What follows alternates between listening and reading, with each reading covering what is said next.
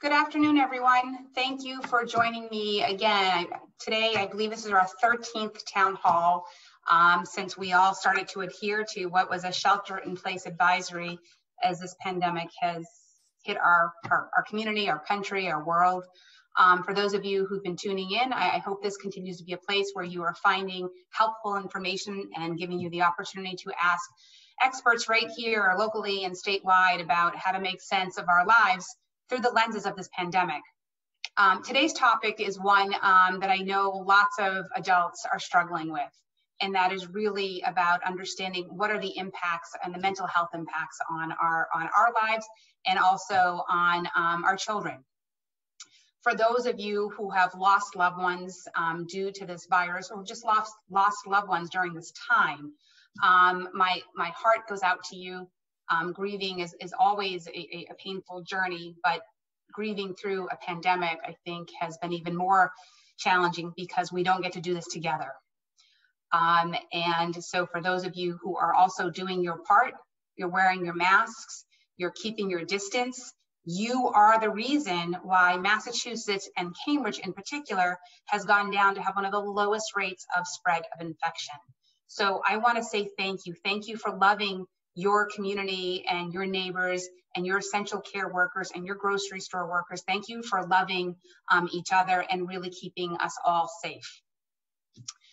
Um, to the members on um, this panel today, I want to thank you. All of you um, do really some of the most important work that we can do, and, and, that is for caring for the hearts, the souls, and the minds of children and, and those who love them and, and do their best to also take care of them.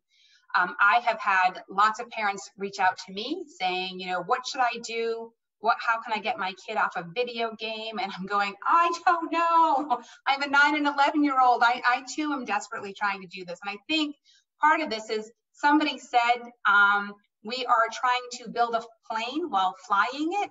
And I thought, oh, was that you, Alice? Actually, might have been you. yeah, see, lots of my wisdom comes from, from Alice Cohen. So um, I try to credit her when I can remember.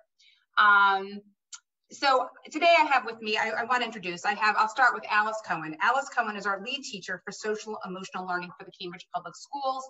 Um, Alice joins us with a long history of working with children um, and adults for, um, and, and, and the last 10 years through the city of Cambridge and now with the school department. So I want to thank Alice for being with us. We also have um, Mary McGeown, who is the executive director of the Massachusetts Society for the Prevention of Cruelty to Children. Um, and also, I believe, is the leads the Children's Mental Health Campaign in Massachusetts and has um, decades experience really drilling down and focusing on how do we ensure that our children's well-being is being uplifted and supported by a lot of different stakeholders who have a role to play in this. So thank you, um, especially for that work. And as the chair of the Committee on Mental Health and Substance Use, I have had the incredible privilege of learning more about that. So thank you. I also want to say a special thank you to Dr. Meredith Gans Gansner, sorry, who is here with us as well from the Cambridge Health Alliance. Um, she is the uh, child and adolescent psychiatrist and instructor of psychiatry at the Harvard Medical School. And um, I want to thank you for all of the work you do in the community and thank you for taking time out of your probably really, really busy schedule, um, given that this pandemic certainly has seen an increase in the rise of needs of our young children's well-being. So with that said, um, I'm going to start with a question and I'll ask all of you to chime in um, and um, please, uh, for those of you who are watching this, if you're on Zoom, please feel free to email us questions. We're going to do our best to get to all of your questions. And if we somehow miss your question, please feel free to email me and I will do my best to get information to you um, after this as well. So the, the first question I'm looking at are, what are the best strategies to talk with young children about what is going on in the world from a deadly pandemic to police violence? Um, th there's a lot happening in our world. There's a lot of unrest and uncertainty. And um, so I think that's the first question. There's a couple more after that, but uh, I, those, those are really big questions. And these things are colliding and in some ways offering an opportunity to collectively help empower children think about how they will change their world. But Alice, I'll ask you, you want to start?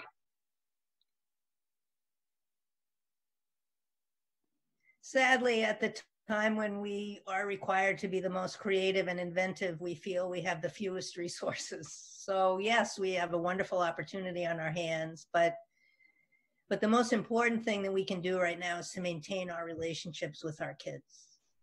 And I'm going to suggest quickly this very quick model for having this conversation with any age kid.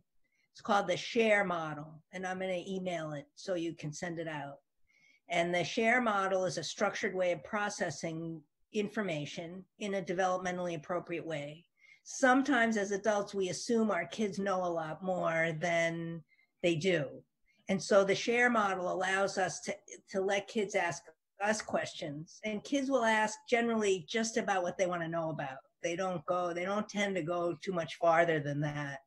So we're asking them to say what they saw and heard. We're asking them to look for the people who are helping because Mr. Rogers was right.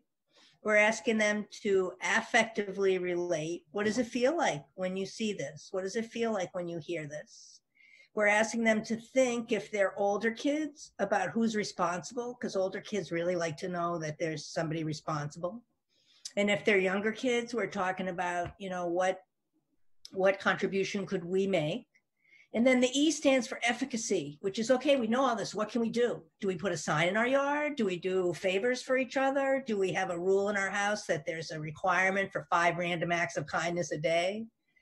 I think we should continue to check in with our children, no matter what their age is. And we shouldn't do it in a formal way. We should try to catch them, try to catch them doing something right and say, I love it when this happens. What's going on right now?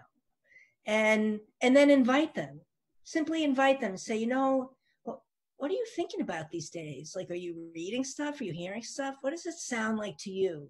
Because once we know the perspective our child has, we can give them missing pieces of information or we can correct them if they're, you know, if they don't quite have it right. So little kids, you know, they, if you're watching the news with them, which I don't recommend, they see everything, they think it's happening again.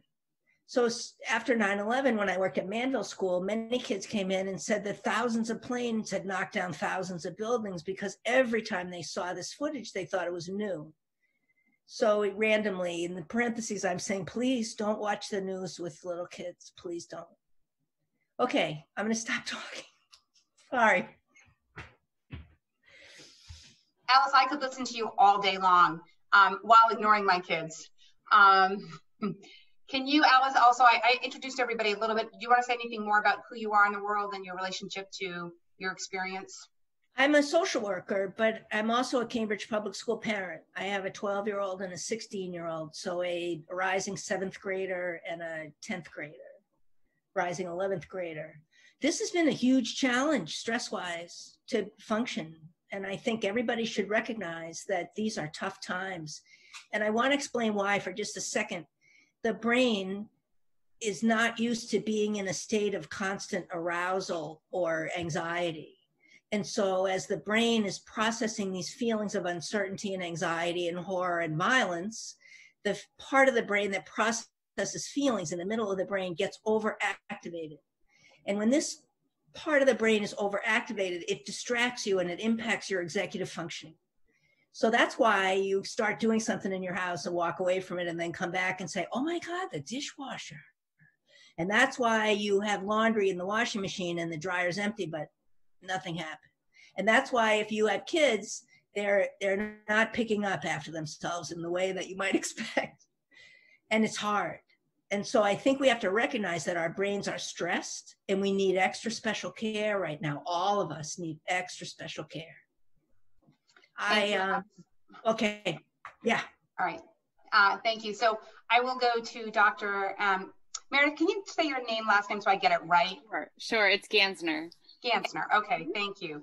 Um, Dr. Gansner, you want to maybe also, you know, respond to some of this and tell us a little bit more about your work. Um, sure. What are you, you know, what are you seeing as some of the um, concerns parents are bringing to you, or some of the kids? What are they mm-hmm. bringing to you, and what is the what are some of the the go-to strategies that you've had for helping kids and parents make sense of um, of all of this at a time that's really it doesn't make sense Sure. So um, let me just say that as a, I'm an inpatient child psychiatrist. Uh, so my work clinically is at Cambridge Hospital on the child unit there and the adolescent unit there.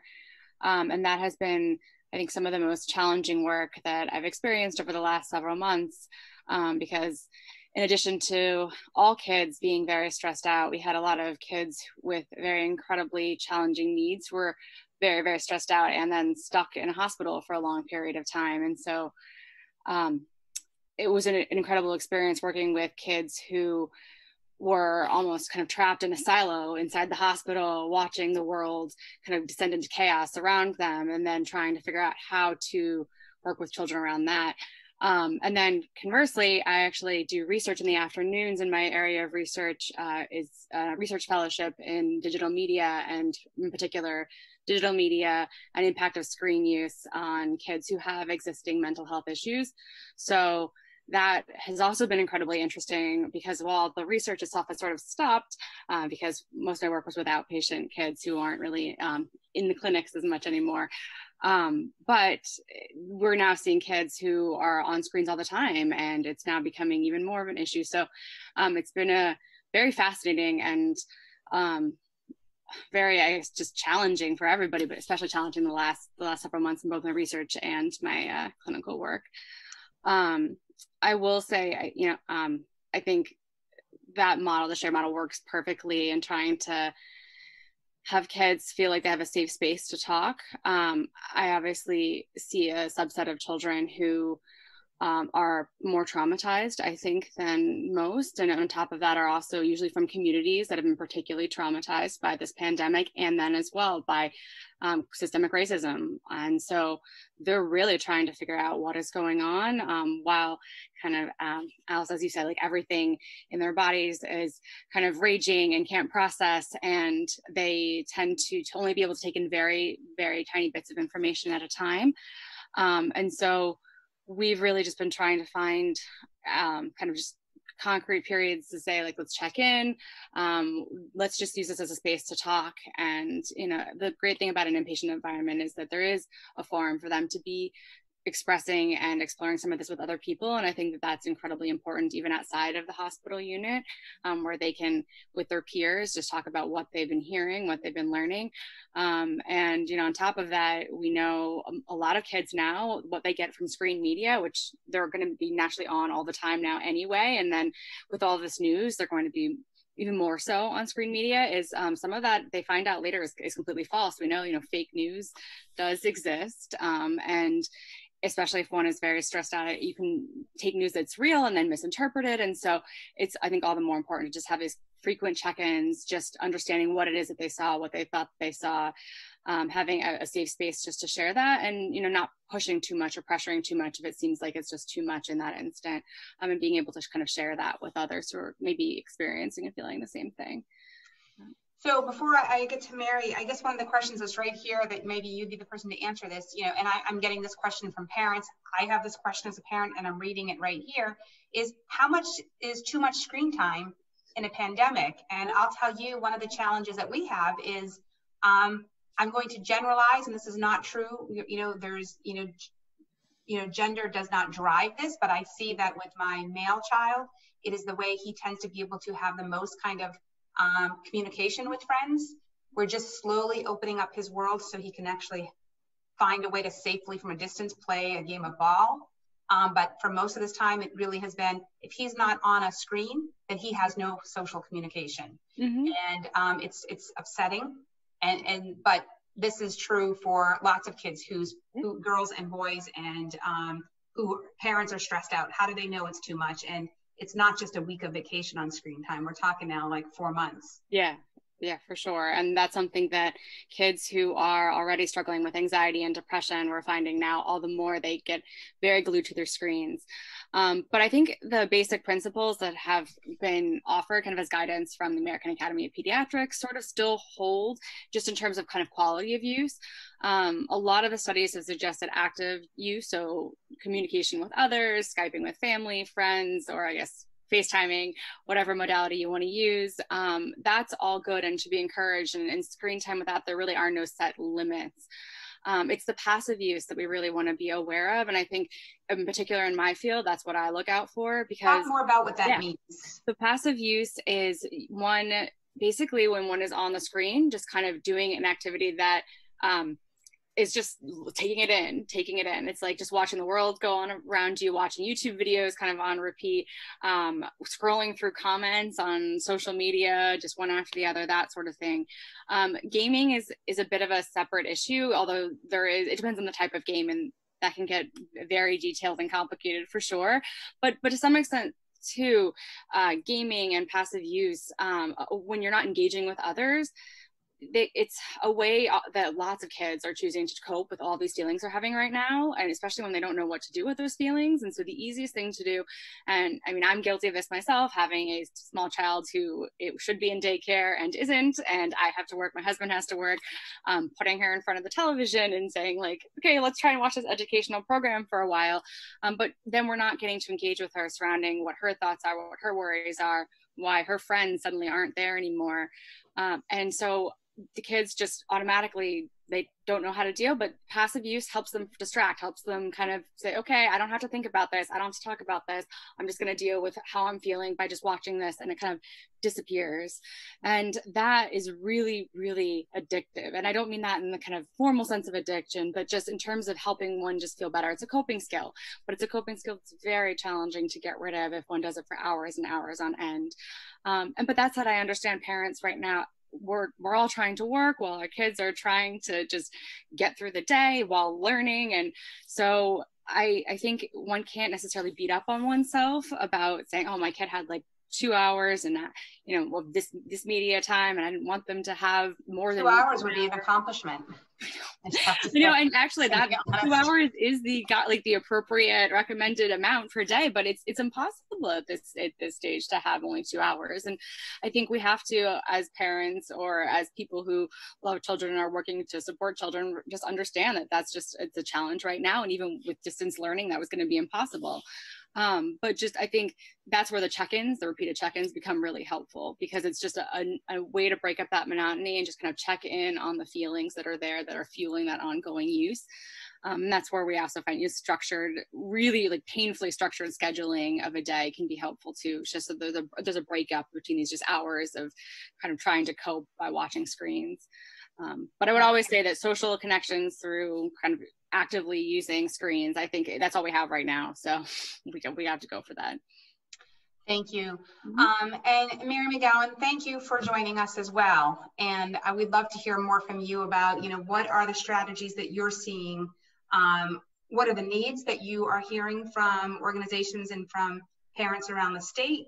And um, what are the concerns? You know, you work for an organization that really is about eyes on the well-being of children. And one of the things that I've been talking about in my work as a chair is the number of uh, mandatory reporters who are who are gone, right, and struggling with what what it means to re-envision a mandatory reporting, and, and that has its own pitfalls and challenges, right? So, um, I'd love to hear sort of you know what you're hearing and what you're seeing, and and right now, what's the advice that you're giving to um, parents and caregivers? Sure. Thank you. Well, first of all, thank you very much um, for inviting me to be here. And and thank you um, for your unrivaled commitment and engagement um, on this issue, um, not only as chair of the committee, but long before that. Uh, we are very, very lucky to have you as a champion. So thank you very much for all of your work. Um, again, I'm Mary McGeown. I'm the executive director of MSPCC, the Massachusetts Society for the Prevention of Cruelty to Children. And it's a mouthful, but um, we really do say that our best work is prevention. We provide um, home-based services to young parents um, through the Healthy Families model. Um, so we go in and work with um, children, with parents who have first-time kids under the age of three, and they're under the age of of 20. Um, we also provide behavioral health services across the state, primarily um, children who have been traumatized by neglect um, or abuse or victims of or witnesses to community violence.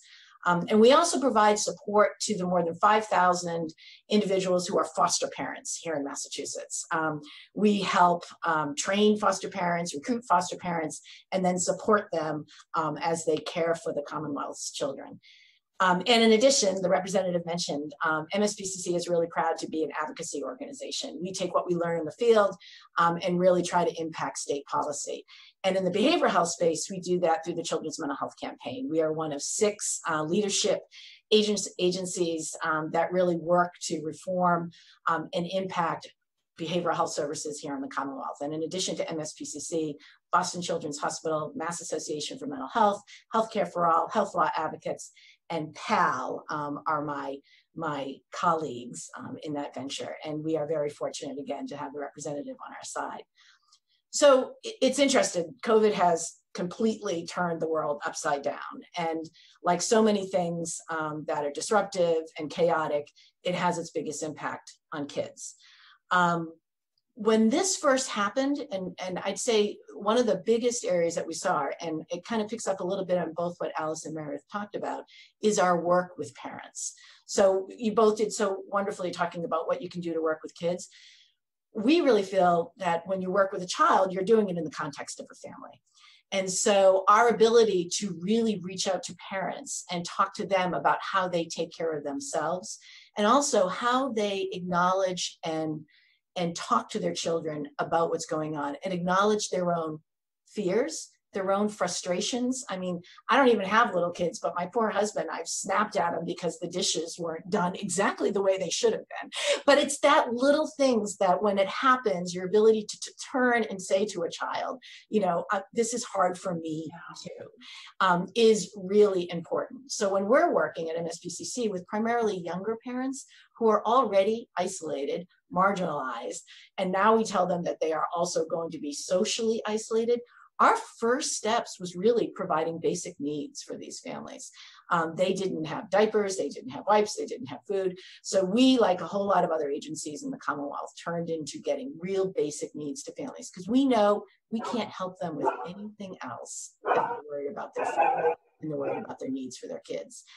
Um, after that, it really was trying to reinforce um, their informal networks, right? You know, you can't see people but how can you continue to connect with people? And how do you make those friends? How do you talk with families? So that individuals really were able to or families young moms young teens uh, were able to have the supports that we all need during a regular day never the mind a pandemic. In terms of straight behavioral health um, the, the children we see have been significantly traumatized and long before this had some real struggles in terms of school and so when I think about one area we haven't talked about, it's that on March 15th, schools shut down. And so for those children who are already struggling with behavioral health issues, they lost access to structure, they lost access to teachers, they lost socialization, and in many cases, services. So I really, really worry about them at home. We've been very, we're really fortunate um, that very quickly on, a, on sort of a drop of the dime, the state worked hard to support our organization and others across the state around virtual health, um, providing behavioral health services virtually, which I think six months ago we would all say couldn't be done. Um, so that's been a really good learning lesson that it can be done and it can be effective and has some really positive benefits. We've seen waitlists shrink, we see people being able to get to our services. So for those who it works for, it works really, really well. But for those who perhaps English isn't their first language, that technology is, is a challenge or not available. Um, for some children, really young children, providing that service virtually is challenging. Um, so I think, you know, I think virtual will always be part of our toolbox, but we really do need to sort of get back to seeing kids face to face. And you mentioned the child welfare issue. That's absolutely huge. You know, in those first few weeks when the pandemic first hit, we did see more than a 50% drop um, in the filings of 51As, primarily because kids were not in school. Um, that's really obviously very concerning. I believe that the, the, department has begun to see it creep back up, so it is yep. going back to a different level. Um, but we're worried about what's going to happen in the fall. You know, what are we going? What are these kids going to come into? And and I agree, it doesn't mean it has to happen. It means we need to invest in those type of services now, today, and in the future, so that as we go through the summer, the fall is not walking off the cliff the way we all fear it's going to be. Thank you, Mary. I mean, I think, um, you know, I'm certainly sounding the alarm that, you know, even level funding will be seen as a cut when it comes to behavioral health and mental health. And I, and I worry that none of this is free from cuts because we're $7 billion at the moment in the hole, right, as a deficit that we're looking at. But that if we don't actually increase investment for behavioral health needs for everybody, and especially children, it will be that much more costly in lives. So whether somebody dies of COVID or they die of addiction, overdose, or suicide, it's, it's the loss of life. I'm going to go to more questions that people have. I'm going to come to you, Alice, with more questions. So some of the questions I'm asking are, um, and, and, I'll put a couple of questions out there and I'm just gonna let you guys jump in so we can try to get a lot of questions. Um, how do we know, how, how, how can I tell when it's time to seek um, professional support and treatment for my kid? Um, what can I do? Um, how, how, again, the question of how worried about getting them off gaming keeps coming up and I think that there's more answers to that. Um, I think it's important to empower parents to not, you know, beat themselves up and worry about, you know, long-term impact. Like we're all going to be long-term impacted by this right? That that's just this has changed us. So just accept that. And i think alice you can speak a little bit too you know it's going to change us but we have the opportunity to make sure that it can change us and, and help us become more resilient. Some of the other questions people are having what has been the impact of homeschooling on children? How do we prepare children for what the fall looks like when we don't know what the fall looks like? And what can we do over the summer um, to help support children? And remember we're talking about an, a range of ages here. Alice? So I think that um, while we have all been impacted, kids are very resilient and kids will generally take their cues from their parents. So if you're if you freak out in front of your kid, which I have several times, I think it's important to stop and reset right in front of your kid and say, "Oh my god, this is one of those moments. I'm super frustrated because I can't fix the sink." And I'm going to stop and take a few deep breaths and model for your child what it means to reset because we're very fragile right now, all of us. What, the question about when to worry is such a funny question because as a parent, there's a part of me that's worried all the time. like, so how bad would it have to be for me to like worry with a capital W? If if I if my child won't check in with me over more and more periods of time and they won't go for a ride in the car with me and they lose interest in things like cooking or things they were doing that were making them feel good if you see a sudden change in behavior that's sustained so not just a tantrum because you know i i actually don't blame children for tantruming on a regular basis because this is just too hard. And how else do you release that energy? The hard part about that is that kids generally release that energy at their parents. So it isn't like, oh, you were tantruming because you couldn't fix the sink, but I'm tantruming because I have an idiot for a parent, right? It feels very different when you're enduring it as a parent.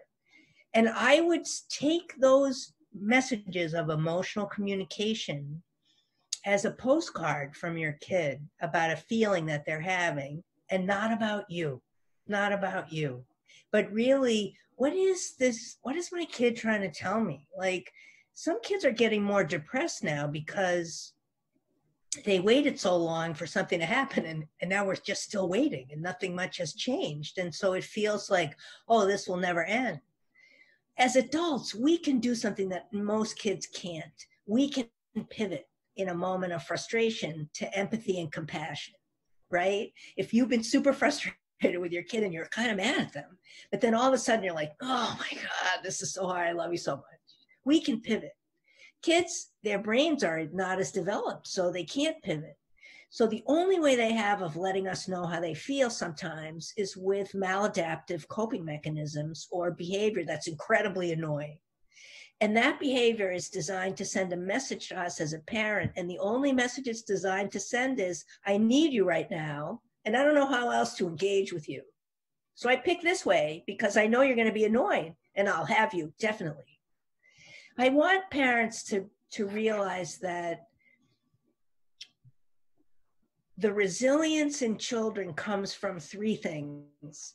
It comes number one, from relationships with multiple adults. We lost that when we lost school. And so now the multiple adults are the parents, and that's tough. The second part of resilience that's really important is self regulation. People who can manage their emotions tend to be more resilient, but kids are just learning this. So, what can we do? We can game it. We can say strong feeling alert, moose head. We can um, name it for people. This is a time when people have big feelings. We can model having big feelings. We can encourage our kids to stay in connection with us. So, the third thing that is a factor of resilience, which is extremely compromised by the pandemic, is future oriented thinking. When kids can think about, oh, next year I'm in third grade, or I'm going to do this, that's a big piece of resilience. And if you don't know what's coming, it's awfully hard to plan for yourself like, oh, I'm going to think about this in my future. And that is sad. And so I think we have to recognize with kids that there are things that are happening right now that have been sad. Not graduating from high school or not finishing your sixth grade year and now feeling like you're a seventh grader, but you're not ready. These are real. And we can just say to kids, yes, this is real and it's hard, and you're so smart to name it in this way. And we're going to get through it. We're going to get through it. You know, I want to remind parents that you have surmounted countless challenges in your life, countless challenges. And kids have survived countless challenges. Remember watching your kid learn how to walk and they just fell and fell and fell and fell. They didn't even care. They just got up again. So we we have the human skill to get through this time in with grace and dignity if if we just continue to ring that buddhist gong of relationship just keep checking in and naming things for kids so that they're not feeling like the narrative of the story of what's happening is not controlled by CNN. It's controlled by my mom and my caregivers. That's who tell that's where I get my truth. And I trust it. Thank you, Alice. Um, I mean, one of the things I do as a parent that, um, with lots of support from other adults over, over the years, is I remind myself that kids really are doing the best they can, right? So in those hardest moments when my when my child is so angry at me, I remind myself on a good day, they really are showing me that they're in pain. They are doing the best they can. And then I have to dig deeper when possible. And it's not always possible for me, but when possible, dig deeper to say, okay, I'm going to try to absorb some of this for you. Or I hear you, this is hard. I'm not going to be talked to like that way because it's hard for me too. And I'm going to go take a break and then I'll come back. Exactly. Just um, so, Dr. Gansner, I have another question about um, what are some um, strategies for helping children who really are grieving? And I think it's important to recognize children are grieving the loss of friendships, the loss of school, the loss of freedom, the loss of life and play as they knew it, but also in this time, in the um, what we are finally seems to be a reckoning of white supremacy and racism in this country, and where we're seeing that this pandemic has absolutely ripped away any false sense that like we take care of everybody, right? Immigrants in our communities are, we, have seen this pandemic is hitting them so much harder. Um, for those who have the least resources and are the least secure politically, they have been hit the hardest. And so I just think of children who are grieving in a variety of ways or um, have also lost loved ones because of this. Um, and depending on your socioeconomic place right now, you probably you have a higher chance of maybe also knowing somebody who has been impacted by this. So I guess asking you about what are some of those strategies. And then there's another question here that says, will support for children in hospital settings change due to the pandemic?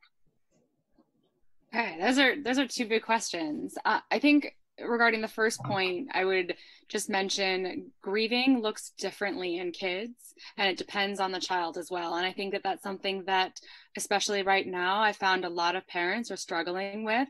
Oh, my child doesn't look depressed, they're not sad.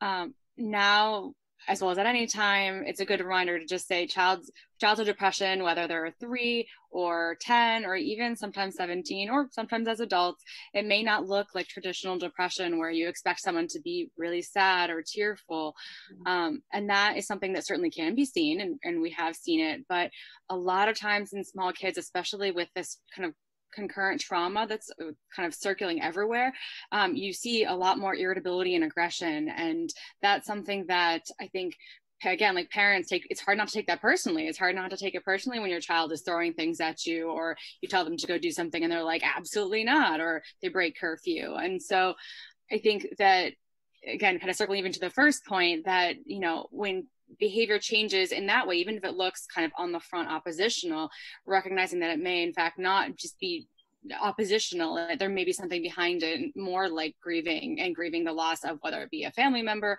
or a loved one or or just as you said like the loss of graduation and normalcy. And that's something that really I think it's almost very hard for most kids to articulate that that is something that can be grieved. I mean, so normalcy, I mean, I barely can kind of articulate what normalcy should be or what a normal life should look like, but what the life that we all knew is now different.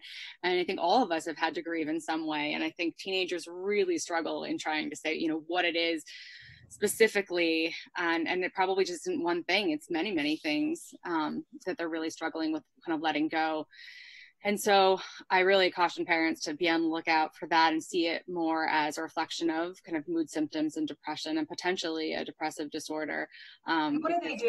Mhm. Where, where, I mean, I think it's important to help, you know, while things have been closed down and hospitals have been closed down, we're reopening, right? And certainly mm-hmm. organizations like Mary and the CHA and, uh, and elsewhere, help is still available. Yeah. Right. Yeah. So where does a parent go if they even want to just assess? I, I don't know if I need help.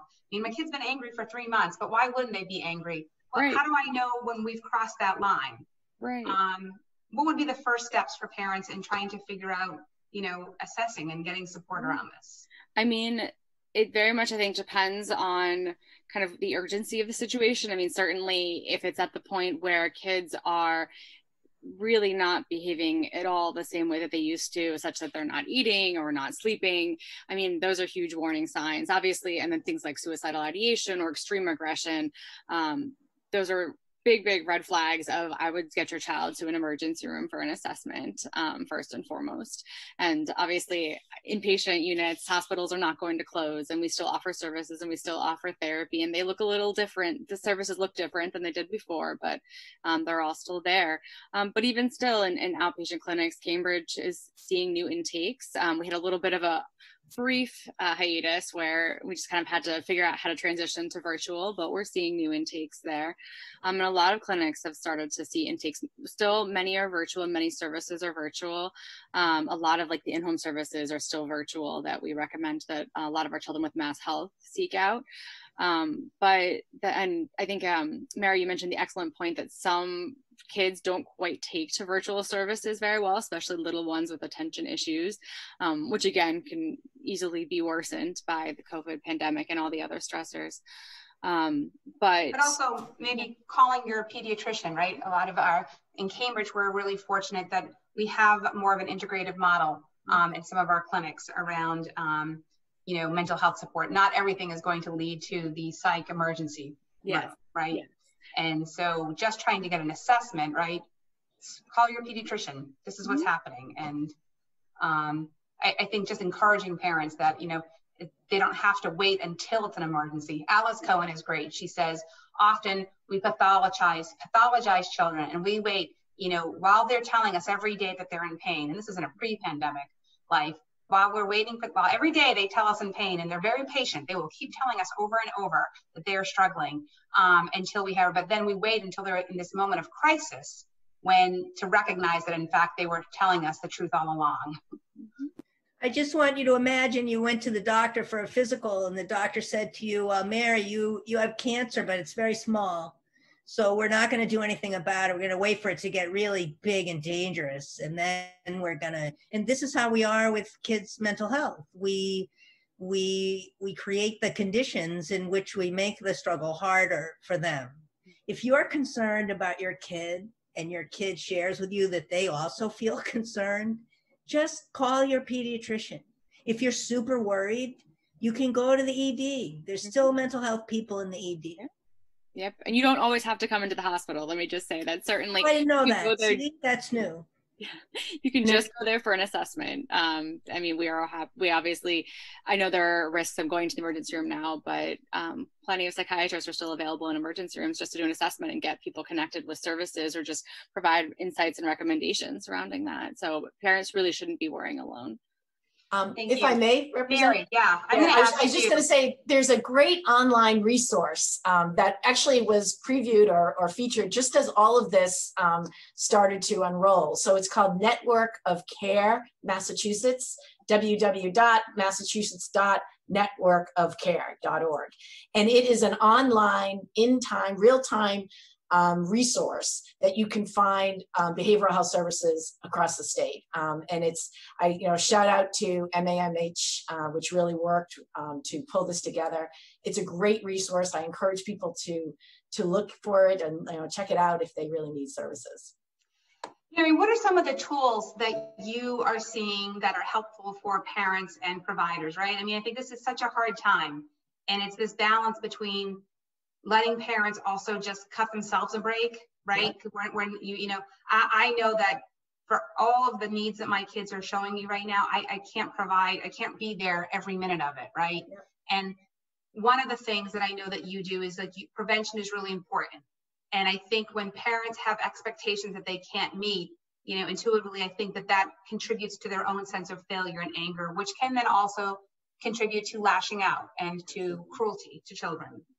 Um, what is some of the advice and some of the tools that you have for parents? And I'll just say quickly, um, Rick Weissbourd, who lives in Cambridge, he and I had a conversation well before I had kids and I was doing this work. He said, you know, Marjorie, I know people tell people they shouldn't, kids shouldn't have too much TV. And he said, I'm not convinced that too much TV is always bad. He says, sometimes I think actually too much TV for some families means um, that um, maybe there's the less chance of a child actually being hurt by a parent who's really stressed out at that moment.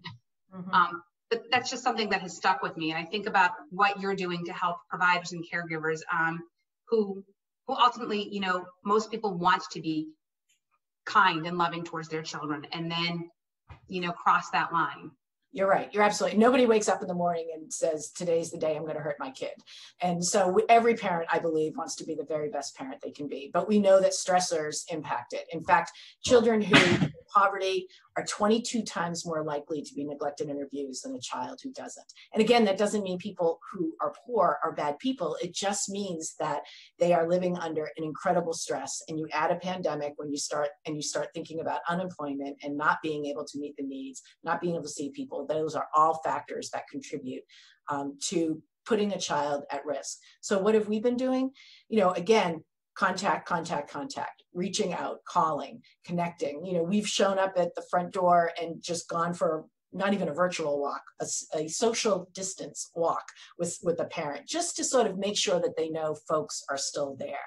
Um, we've encouraged parents to how to connect with your child. So this was an opportunity to do things with your child. How do you do them if you can't go to the zoo or you can't go on the T? You know, really getting down and and sometimes our staff are doing it virtually. So they're they have a game of Chutes and ladder, we have a game of Chutes and ladder, and we're playing with them and their child, really trying to help them connect with their child during times like this. So many of the families that we work with never experienced that as a child. They didn't have their that relationship with their parents. They don't know how to play with kids. So it really is a lot of hands-on walking through, not assuming anything. And to your point, Representative, not making the goals too big it's not about getting to the end of the month the, it's it's what are we going to do today? What's a good day look like? Hour by hour. Yes and aren't you lucky that you know that? But for somebody who's never been told that and who is constantly questioning whether they're a good parent to be able to say what are we going to do today? So in the morning it's let's let's do this. And then we we can have some downtime and maybe that is watching tv or maybe that's doing a puzzle but giving giving some sort of a structure to a day so a young parent really is able to know this is how i'm going to get through it and it may not always work and we spend a lot of time that may not reach that goal there may be a blowout or a and how do you pause reset and say, okay, well now we'll do this. Um, it's it's a lot of hands-on work, and these are these are again for the families that we're working with, often parents, young parents who just haven't had that kind of role model.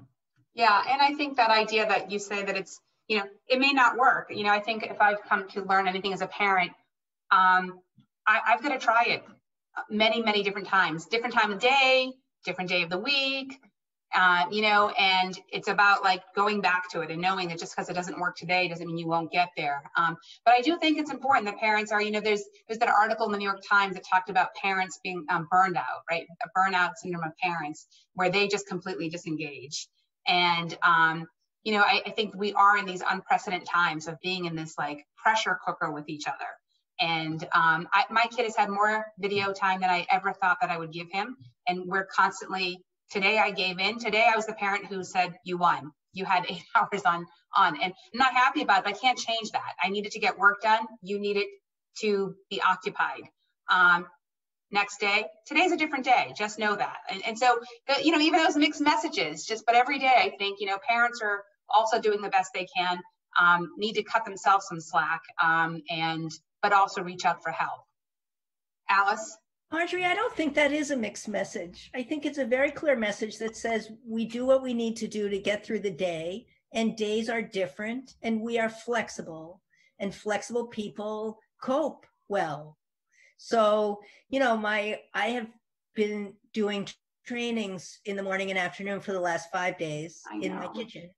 And I have two children, and they have learned how to sneak in and out of the kitchen without disrupting the audio. Is that neglectful or bad? No, it's adaptive. So if your kid needs video games one day because you need something, but the next day you have time to play a game, that's just adaptive. It's not a mixed message. We need to remember that your kid's relationship with you as a parent, that's the most sacred relationship they're ever going to have. That you can't wreck it. All you got to do is be good enough. Got to be good enough. So yes, you, of course you can't hurt your kid, but having inconsistencies in your daily routine is not going to hurt your kid. What hurts our kids is the feeling of banishment and rejection they get when we're unable to cope with them. Yeah. I don't know how you were punished as a child. Some people got smacked in the head. The most difficult punishment for children is the severance of the relationship. It's the go to your room thing. And now you've lost, you've had an interruption of your primary attachment. And it's incumbent on the grown up in those situations to go get the kid. It's not incumbent on the kid to creep down into the kitchen 45 minutes later and peek around and wait to see if you have the right expression on your face so they can come back in. We have to make the connection and keep the connection. But it's okay if the if the connection is tenuous sometimes. It, that makes us stronger. The most important part is the return. Mm-hmm. It's the return. I got mad, you got mad. What's the return? And I think parents forget too how powerful they are in these little interactions mm-hmm. they have mm-hmm. with kids, especially young kids. Be like, oh, I see you like working right now, doing this thing. I I like that.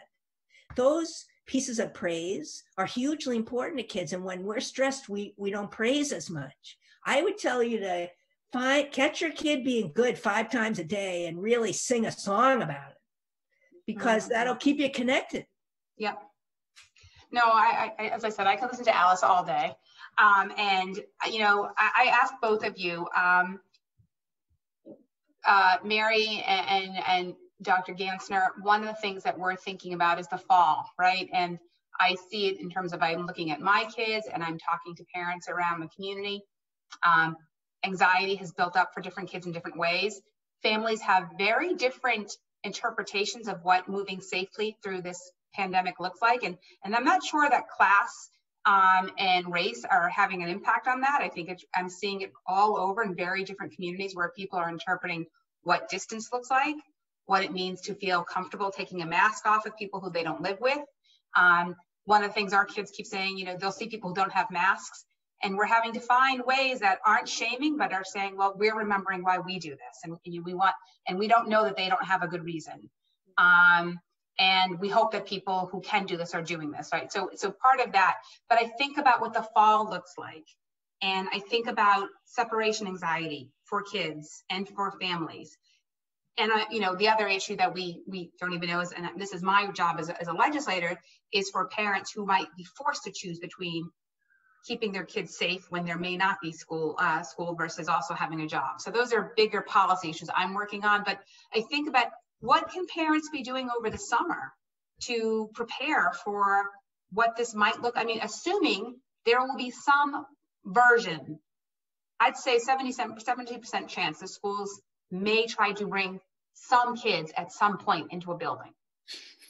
We haven't been told how they're going to do that, quite honestly, or how they're going to pay for that. And that, that, that, those are some issues I'm taking on as a legislator, but it's going to happen. And the world is reopening, right? So parents are starting to go out to stores. And, you know, I know my own kids will say, I can't believe that they like, you handed something to someone. I'm like, well, I had, you know, I, I gave it to them and I stepped back and I had masks on, but kids are confused. They're really confused about what these public health protocols have meant from stay at home, don't touch anyone or look at anyone to where we are now and, and how to do this choreographing dance of what we are seeing as public health protocols. I mean, I'd love to hear from both of you, both sort of, you know, what's your advice around parents as they have to help kids think through these things and um, and what they can do to prepare.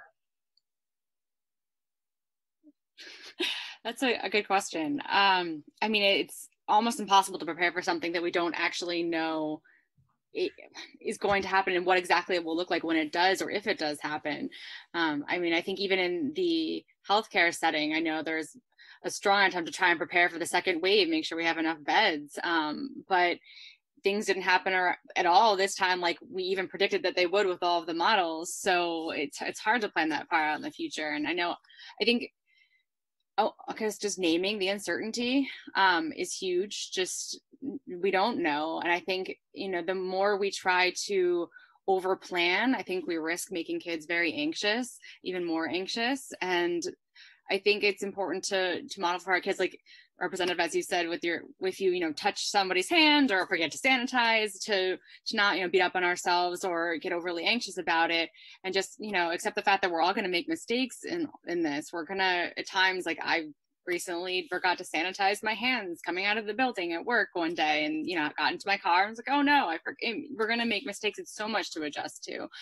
Um, but I've been trying to model as well for my daughter just oh that's right like because my mom my my mom taught me how to kind of hand sanitize when I was younger and now I've been trying to teach her and now it's way more than I ever thought she would ever have to learn how to hand sanitize. So I'm really conscious of trying not to have her be overly anxious and overly worried and overly concerned and she's just you know she's especially young and i think this is different for a teenager than a small child.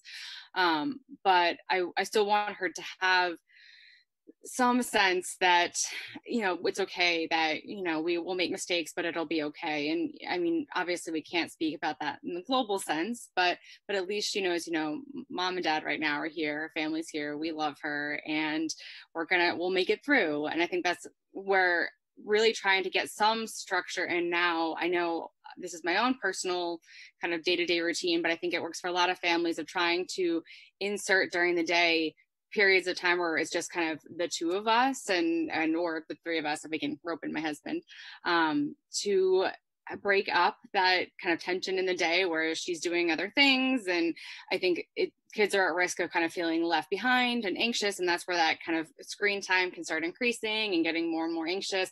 Um, so i think the more that parents can have some as best as they can kind of just like coping skills in their pocket or like tricks in their pocket of things that kind of help break up the monotony of the day if this happens again. I know my husband and i are like we need to make sure that we have a period of time just to check in with flo our daughter during the day. And i know i recommend that to a lot of the, the kids on the unit as well that the parents even if they're working from home um, find a way just to kind of check in and be with their kid and kind of re- hopefully relieve that anxiety for just a little period of time.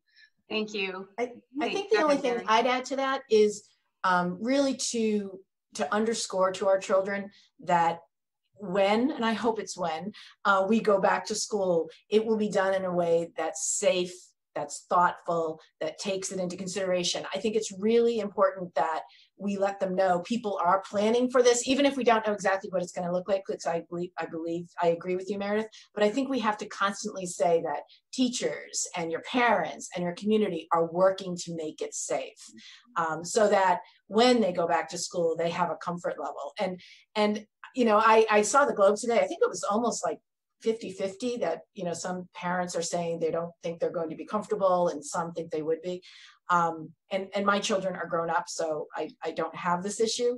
But um, i spend a lot of time hoping that as people think about it it's it's when kids go back to school and not if kids go back to school you know we talked about it earlier about the eyes on just in terms of child protection safety but there is and, and clearly academics i mean think about the slippage that happens during a normal summer. Summer has is going to be six months this year. So you know any child your your you know your child who who enjoys and is doing well in school but for those kids who have disabilities or behavioral health issues you know i i worry that was already a big gap is going to be greater um, but also, it's just really social and emotional learning. These kids need to be around other children. They need the, the structure. And I actually think we need to be thinking, and, and I guess I am putting my policy and your policy hat on, how do we support teachers when these kids come back to school? You know, they're going to have a classroom of children who we don't know what's gone on over the course of the last six months. You know, it could have been a day full of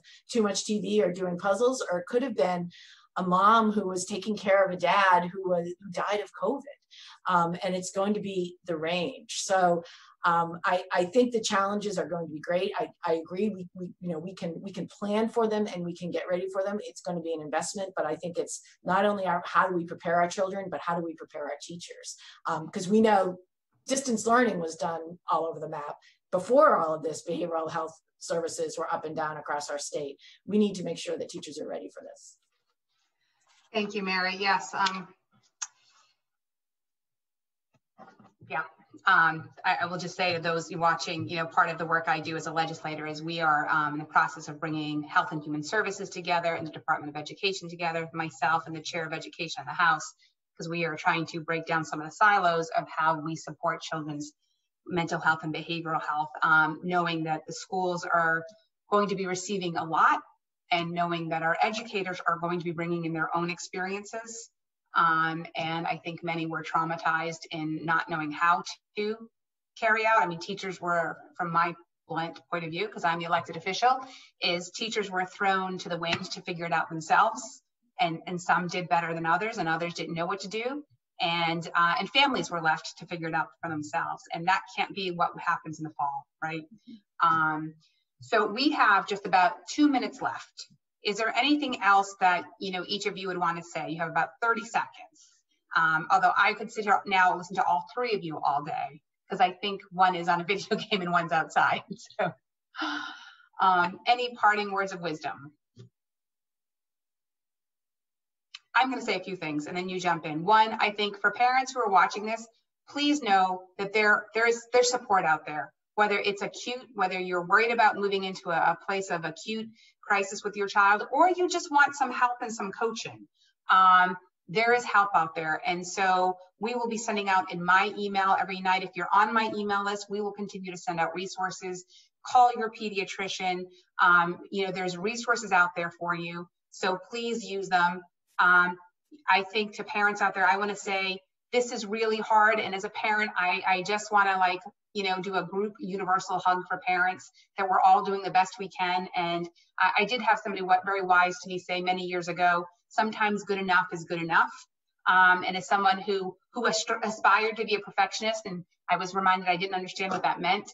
Um, good enough has to be good enough, and um, you know it's hour by hour in our house. Even though we try to have a schedule, but you know we are um, we do we we we at the end of the day, there's no choice but to figure this out and go back and try over.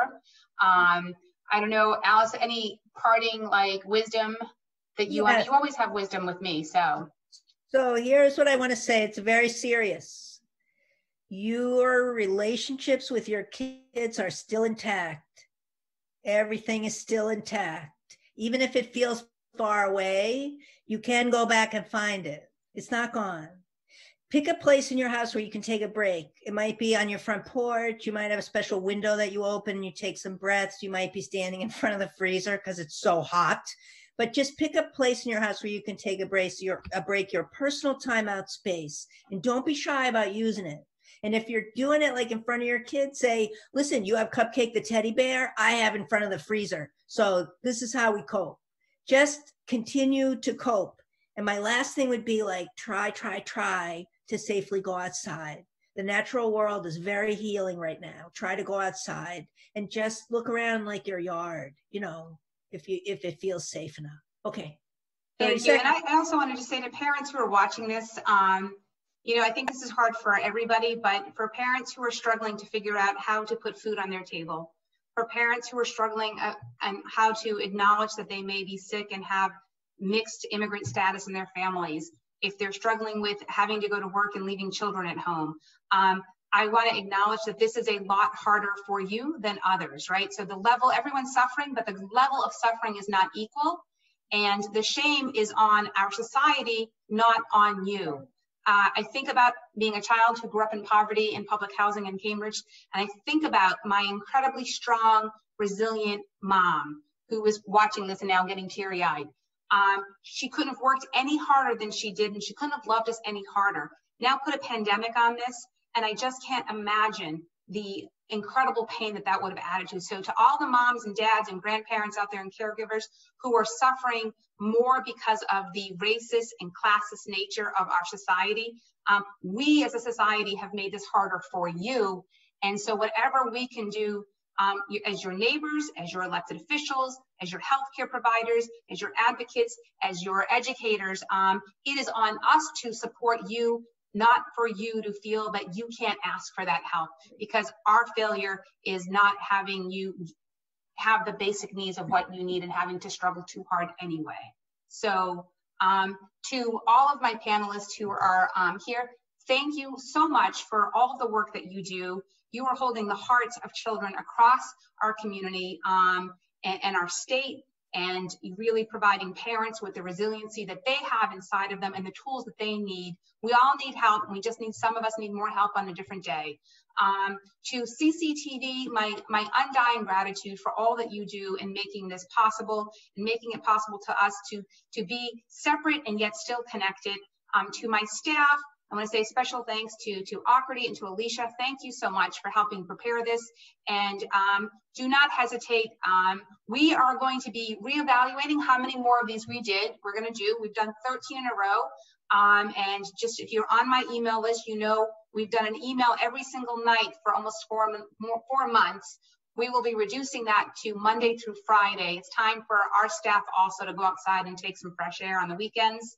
Um, and so we will do a couple more of these town halls and, and we may take a break and come back to them, but um, don't hesitate to reach out if there's a topic you would like to see us explore. And I wish you all um, to be as well as you possibly can be today. And thank you for doing everything you can to help ensure that we as a community are safe. Thank you. Thank you, Marjorie. I Thank mean, Representative Decker. It was really great to meet all of you. I it was really super fun. Thank Mary, you. I wanted to meet you for so long. Oh, right back at you. email you so you have each other's emails. Yes. Yeah. Oh, that's great. Thank you. Thank you very much. Mary.